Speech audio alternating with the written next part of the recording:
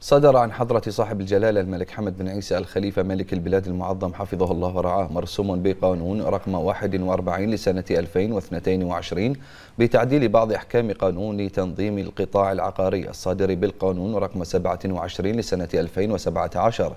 وذلك بناء على عرض رئيس مجلس الوزراء وبعد موافقة مجلس الوزراء.